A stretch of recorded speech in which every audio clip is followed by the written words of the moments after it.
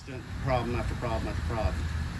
So this car, no performance upgrades, but some other shop has worked on it. They've swapped out motors or something. And uh, Philip here is uh, saying there's uh, just all kinds of problems, but he has a good handle on it. He's got it figured out. So we're gonna put that uh, up on the rack over there, and uh, that car's been pulled out and get that done. Uh, this is the same truck that was here last time, wasn't it? Well, yeah, we're talking to uh, the uh, the eccentrics for the alignment are froze. So, Oh, oh yeah, we took it for alignment. The uh, and when they try to adjust here, oh, they couldn't they couldn't do anything. well, it's it's froze inside the bushing. Oh, So I have to try to figure out either have to maybe swap the bushing bushings. too. You know, just well, get new bushing. I'm gonna try to free it up. I mean, they, we're already over Well, but budget.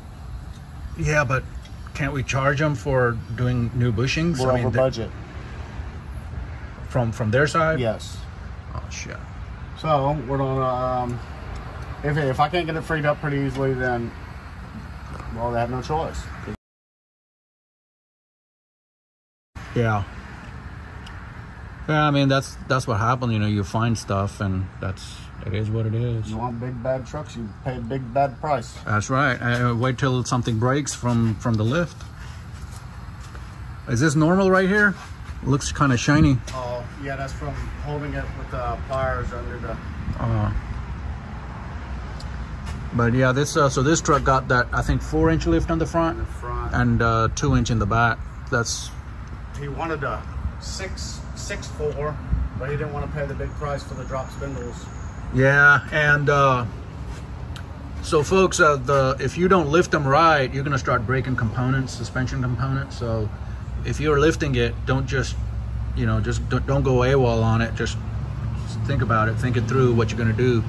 The more you lift it, the more it's gonna cost you. So just keep that in mind. Unless you do it right. Right, and and even on over the long run, so you can you can have uh, a lifted truck, and if you didn't do it right, it's just gonna be breaking stuff. It's you know like especially a truck that's gonna you know like if you hook up a trailer to it, yeah, it's when you put load, it's not gonna work out. Uh, See, that's the correct way to lift a vehicle.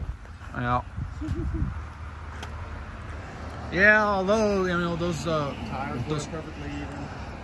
the tires, uh, well, they're not low profile. They're No, yeah. they're 37 on 22 inch wheels.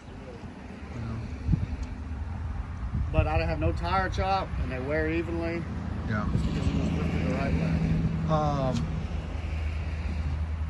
but do you have a problem hooking up a fifth wheel Nope. in the back? I mean, isn't it too high for it? Uh, I hooked one up the other day. It's, as long, it, the, most of them are adjustable at the neck. Oh, okay. Yeah, yeah, yeah. Well, not a not a not an RV though. Like if you get a fifth wheel Well, RV higher the axles. on the RV, Yeah, you can drop them down lower, right? I'm pretty sure. You can you, you can swap them. Like you can invert yeah, but on the it'll raise up. RV, there should be separate holes, like so you can drop it down, the, the whole axle. Yeah, maybe maybe yeah.